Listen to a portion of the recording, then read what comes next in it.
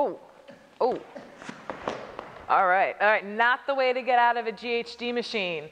GHD stands, for glute ham developer, and that's exactly what we do on this machine. So today we're gonna talk about hip extensions. You're going to load in front facing, make sure your ankles are nice and secure in there.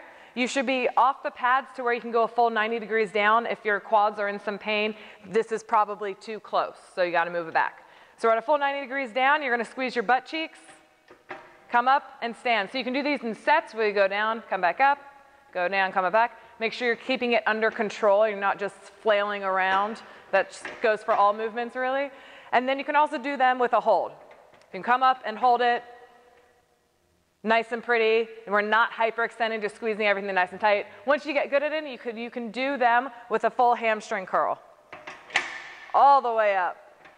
Glute hamstring developer. All right?